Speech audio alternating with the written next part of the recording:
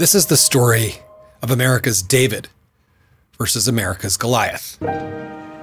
Benjamin Lay was born in 1682 in the small town of Colchester in Essex County in southeast England.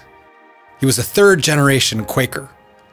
The founding father, Benjamin Rush, who was the Philadelphia physician, signer of the Declaration of Independence, described Ben Lay in the following way Ben Lay's size, quote, was not much above four feet. His dress was always the same, consisting of light colored, plain clothes, a white hat, and half boots. His milk white beard hung upon his breast. His peculiar principles and conduct rendered him to many an object of admiration, and to all a subject of conversation.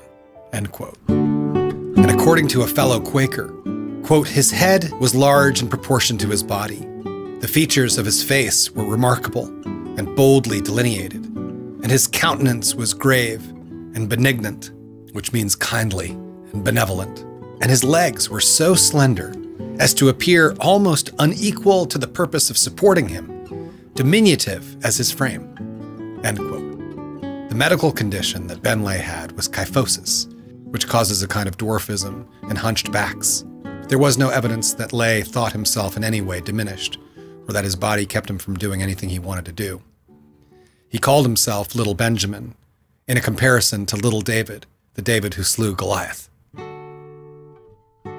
As a teenager, Ben Lay worked as a shepherd on a farm in eastern Cambridgeshire. He loved it, but his family had other plans for him, trying to get him to take up the family business as a glove maker. So when he was 21, he ran away to London to become a sailor. The year was 1703. Ben Lay would board ships for months at a time, sharing tight quarters with sailors from all over the world, learning to work in teams with all kinds of people, with all kinds of backgrounds. After about 12 years between living in London and out at sea, he decided to stop for a while in Barbados and enjoy the sunshine. He got work as a shopkeeper in what was at that time occupied by British colonial forces. And there in Barbados, he witnessed the most brutal atrocity slavery. Ben Lay's biographer, University of Pittsburgh historian Marcus Rediker, writes that Barbados, quote, was the leading slave society of the world Ben Lay saw slaves starved to death. He saw them beaten to death and tortured to death, and he was horrified. The Quaker spoke out against the plantation owners, and angered, they told him to leave. His breaking point was witnessing a man held in slavery being whipped, and rather than ever get whipped again, Ben watched this man kill himself. So Ben returned to England and to his Quaker community and began protesting the evils of slavery and those being corrupted by worldly greed and wealth. And for that, he was disowned and expelled from two congregations. But not before he'd met someone of like mind and like body Sarah Smith, another Quaker, and a little person of similar height. They got married and made plans to sail for the New World. They were hoping to join the famous holy experiment, Pennsylvania, a combination of Latin words that mean Penn's Woods, named by William Penn, the famous Quaker and early advocate of democracy, religious freedom, and good relations with the locals, the Lenape Native Americans. Philadelphia, Pennsylvania was one of the biggest cities in the colonies, with the world's second largest Quaker community. Ben and Sarah Lay saw the future of liberty, and it was there. So they set sail in March of 1732. And when they arrived, they were shocked. Slavery had been a rarity in England, and yet here in the land of liberty, the majority of Philadelphia Quakers were slavers, including the leadership. As the Smithsonian Magazine writes, enslaved men, Lay noted, would plow, sow, thresh, winnow, split rails, cut wood, clear land, make ditches and fences, fodder cattle, run and fetch up the horses. He saw enslaved women busy with all the drudgery in dairy and kitchen, within doors and without. These grinding labors he contrasted with the idleness of the slave owners, the growling, empty bellies of the enslaved, and the quote, lazy, ungodly bellies of their masters. Worse, he explained with rising anger, quote, What do you think of these things? You brave gospel ministers that keep poor slaves to work for you, to maintain you and yours in pride. Pride, idleness, laziness, the sins of Sodom. How do these things become your plain dress, demure appearance, and feigned humility? Hypocrisy, which, according to truth's testimony, must have the hottest place in hell to keep those miserable creatures at hard labor continually until their old age, in bondage, in sore captivity, working out their blood and sweat, youthful strength and vigor. Then you drop into your graves. Go to your places ordained, appointed for you, and so leave these poor, unhappy creatures in their worn out old age to your proud, dainty, lazy, scornful, tyrannical, pitiful children, for them to domineer and tyrannize over, cursing them and you in your graves. End quote. Ben Lay would not hold his tongue, nor spare the Quakers from the lash of his spirit. They called him the Quaker Comet Ben Lay went on hunger strikes. He laid his body in snow, forcing other white people to step over him, to show them what they were ignoring. Once he kidnapped the child of slavers so they'd know how it felt.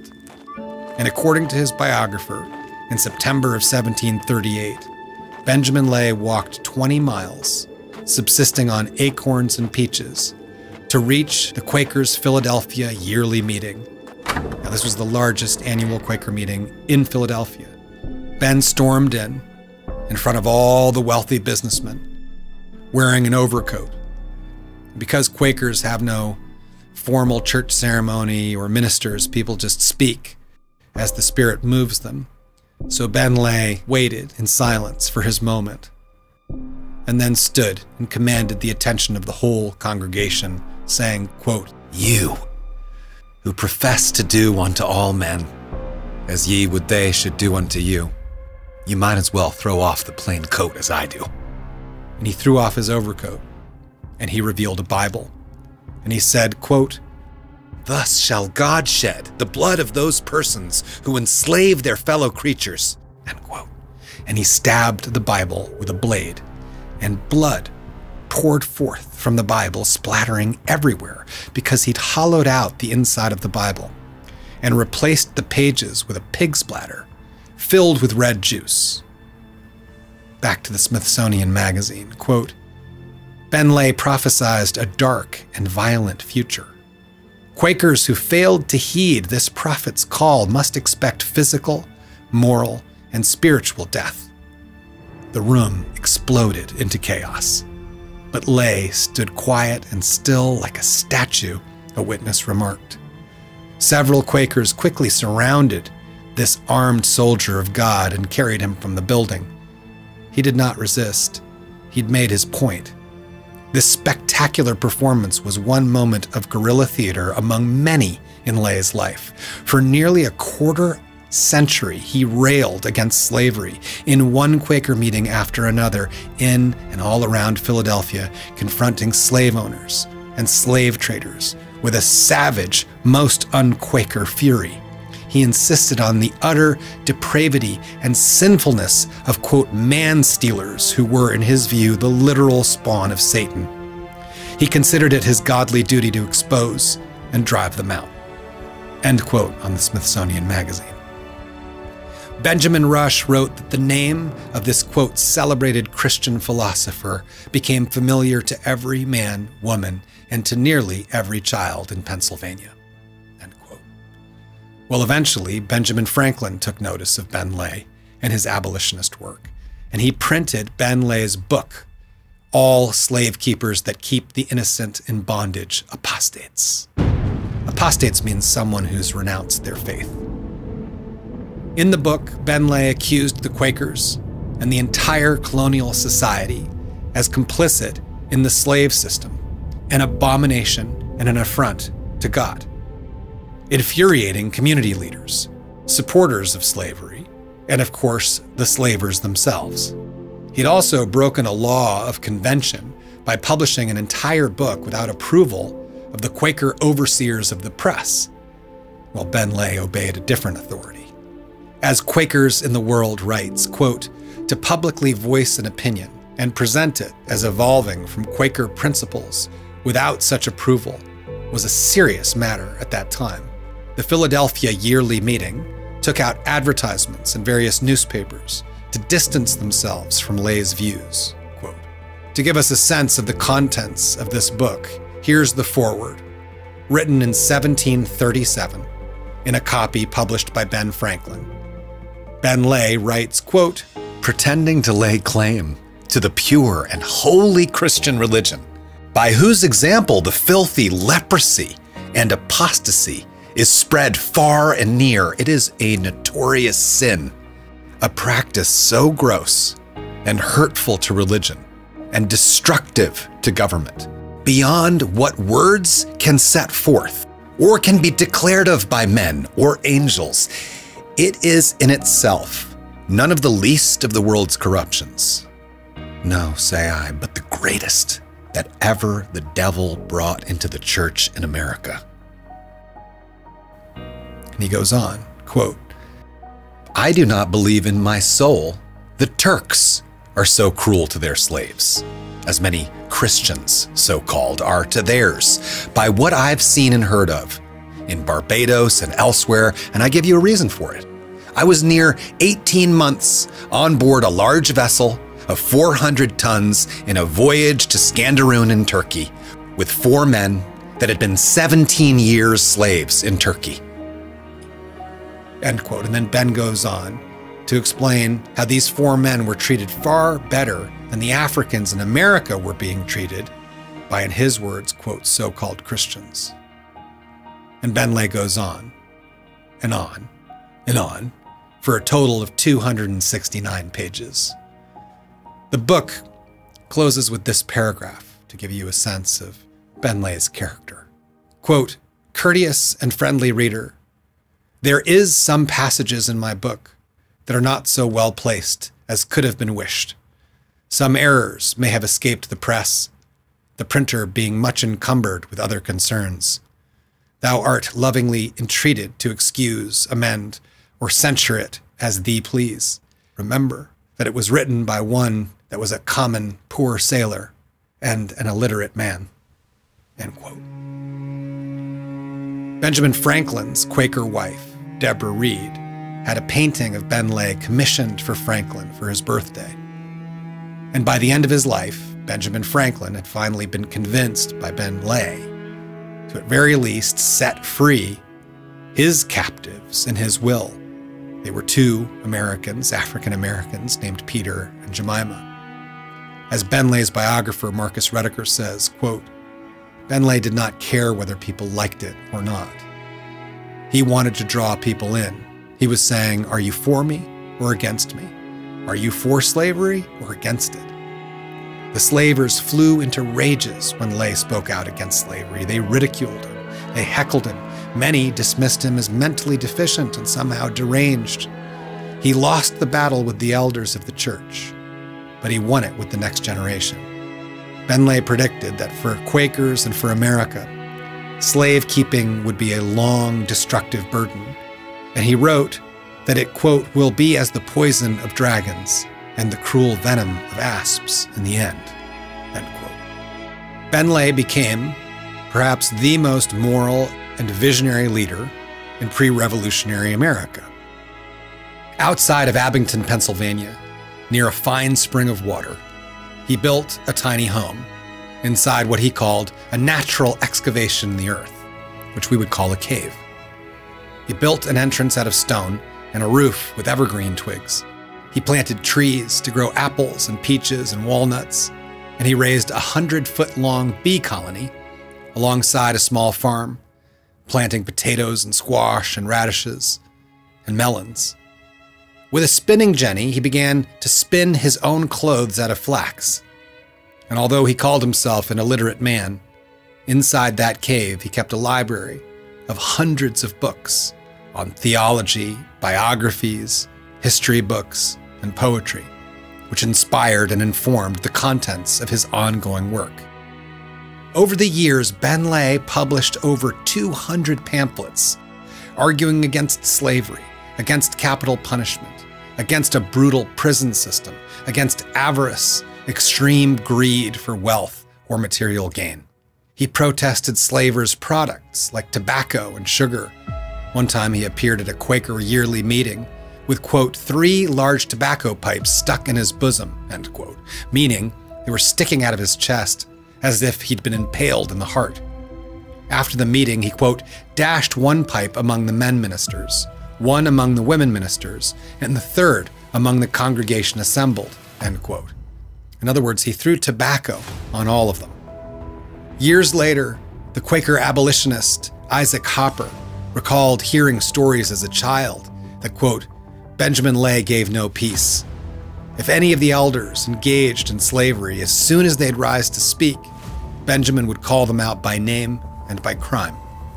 Meeting after meeting, he'd show up and he'd demand congregations end their wicked ways.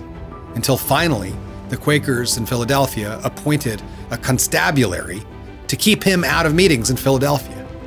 But even that wasn't enough.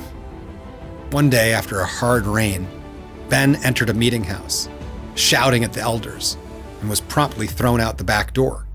Well, he returned to the front, and he lied down in the mud, so every person inside had to step over his body on the way out. Ben Lay said, quote, No man or woman, lad or lass, ought to be suffered to pretend to preach truth in our meetings while they live in that practice, which is all a lie. He said slavers bore the mark of the beast and represented Satan's work on earth. They were all apostates and heretics. And of the elders, he said, quote, Time for such old rusty candlesticks to be moved out of their places. As Rediker writes, quote, slowly over a quarter century, Ben Lay's relentless agitation changed hearts and minds. In 1758, a friend arrived at his cave to inform him that the Philadelphia Yearly Meeting of Quakers had finally taken the first big step toward abolition, ruling that those who traded in slaves would henceforth be disciplined and driven from the community. Lay fell silent for a few reverential moments, and then rose from his chair, praised God, and announced, quote, I can now die in peace. And indeed, Ben Lay died a year later, an outsider to the Quaker community he loved, but a moral giant of a man. And Ben Franklin soon joined the writer of the U.S. Constitution, Gouverneur Morris, whose incredible character we reveal in American Origin Stories episodes 1 and 9 and Franklin joined the movement to support the complete abolition of slavery. According to the Center for Legislative Archives, Ben Franklin's, quote, last public act was to send to Congress a petition on behalf of the Quaker Society asking for the abolition of slavery and an end to the slave trade. The petition, signed on February 3rd in 1790, asked the First Congress, then meeting in New York City, to, quote, devise means for removing the inconsistency from the character of the American people, and to, quote, promote mercy and justice toward this distressed race, end quote. The petition was introduced to the House on February 12th, to the Senate on February 15th, and it was immediately denounced by pro slavery congressmen, sparking a heated debate in the House and the Senate. And the Senate took no action on the petition, the House referred it to a select committee for further consideration. And the committee reported back on March 5th, 1790, claiming that the Constitution restrained Congress from prohibiting the importation or emancipation of slaves until 1808, and then tabled the petition. Two months later, Benjamin Franklin died in Philadelphia at the age of 84. For most of the founders, the United States was not a moral union, but a political one. Of the 39 signers of the Constitution, the majority, about 25, owned or managed or were somehow involved with slave plantations, including the two most powerful of them all, the Southern slavers George Washington and James Madison. But the spirit of true liberty in abolishing slavery had momentum like never before. The Quakers had taken up the cause, thanks to the courageous and faithful heroes, Ben and Sarah Lay.